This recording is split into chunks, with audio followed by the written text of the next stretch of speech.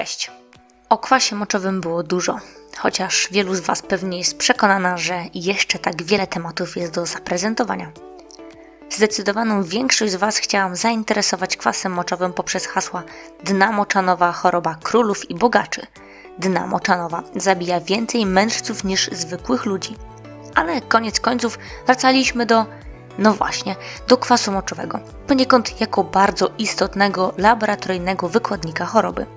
Dziś chciałabym zwrócić uwagę na inny problem, zadać inne, ale jakże ważne pytanie. Czym nas jeszcze zaskoczy kwas moczowy? Zapraszam.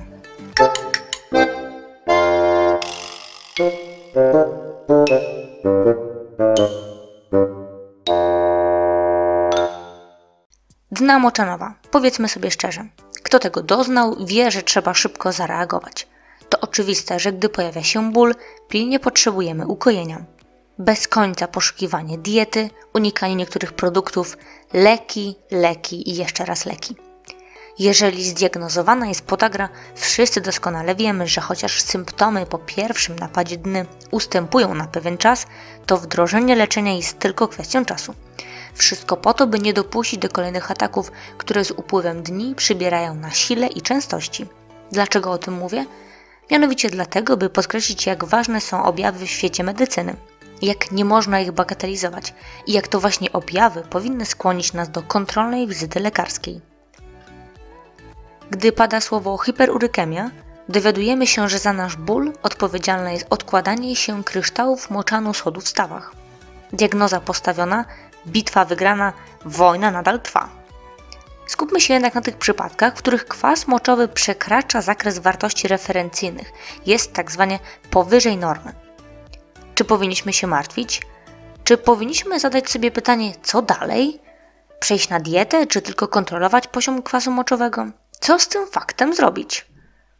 W pierwszym odcinku o kwasie moczowym podałam, że u wielu osób, u których laboratoryjnie stwierdza się hiperurykemię, nigdy nie rozwinie się dna moczanowa. Jednakże kwas moczowy to nie jest jedynie parametr diagnozujący podagrę. Nie, nie.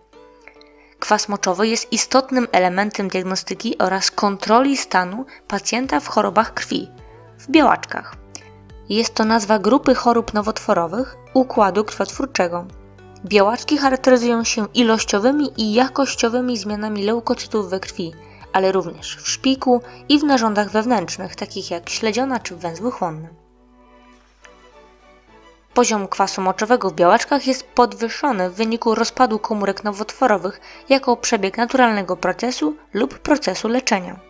U tych chorych, przede wszystkim w trakcie diagnozy, należy wykluczyć możliwość występowania bezobjawowej, ale i objawowej dny moczanowej.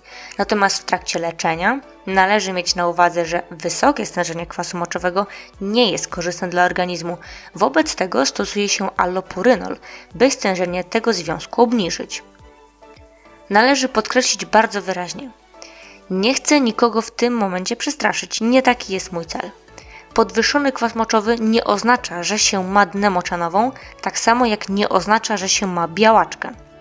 Chodzi o to, że jeżeli do wyników badań dodamy obraz kliniczny, który jest tak różny, a zarazem tak istotny, to ten właśnie całokształt pozwala na dokładną diagnozę. W tym momencie warto raz jeszcze powtórzyć zasady doboru i interpretacji badań laboratoryjnych. Cytując dokładnie, podstawą każdego procesu diagnostycznego są wywiad lekarski i badanie przedmiotowe chorego. Jeżeli wynik jest ujemny, obecność danej choroby jest mało prawdopodobna, ale nigdy nie niemożliwe. Ujemny wynik badania, który nie pasuje do obrazu klinicznego, nie wyklucza wcale podejrzenia tej choroby, ale powinien raczej skłaniać do powtórzenia tego badania i wykonania kolejnych. Bo kliniczna pewność rozpoznania jest najważniejszym elementem procesu diagnostyczno-terapeutycznego. Jednakże gdy wynik jest dodatni, u większości osób można dokonać rozpoznania danej choroby, ale tylko na podstawie wywiadu oraz badania klinicznego.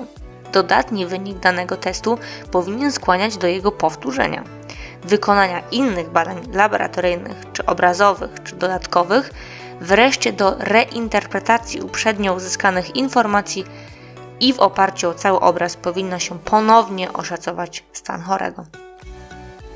I pamiętajmy to, co bardzo ważne: dobór i interpretacja badań dodatkowych stanowią często duży problem w pracy lekarza. Co dzieje się jednak, gdy to my sami o tym decydujemy? Profilaktycznie i od zera. Tylko literatura uczyni z nas bohatera. Do usłyszenia.